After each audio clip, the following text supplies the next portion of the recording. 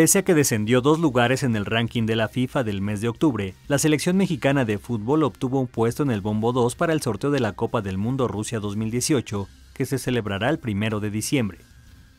El cuadro que dirige el colombiano Juan Carlos Osorio cayó al sitio 16 de la clasificación, dos puestos menos respecto al lugar que ocupó en septiembre. Con esto, el Tri estará en el Bombo 2 junto a España, Inglaterra, Colombia y Uruguay, y posiblemente Perú, Suiza e Italia siempre y cuando salgan adelante de sus respectivos repechajes. Los cabezas de serie para el sorteo final mundialista serán los representativos de Rusia como equipo anfitrión, además de Alemania, Brasil, Portugal, Argentina, Bélgica, Polonia y Francia, de acuerdo al ranking de este mes.